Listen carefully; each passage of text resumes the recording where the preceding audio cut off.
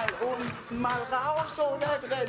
Oh, wie ein Arsch auf Eimer, ein Herz und eine Seele.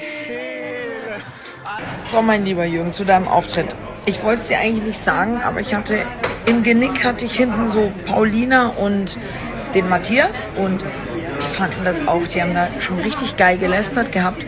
Ich fand den Auftritt klasse, weil einfach die Dynamik von euch beiden so ist.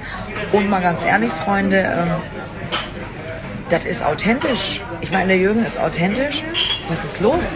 Das muss man mal auf so einem kleinen, auf so einem kleinen Mini-Containerhof erstmal hinkriegen mit dieser Dynamik. Ein Hoch auf uns.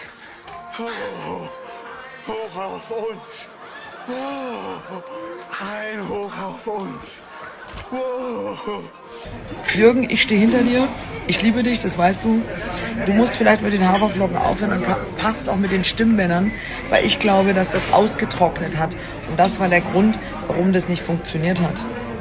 Jürgen, I love you und wir sehen uns und ich esse mal weiter mein Steak.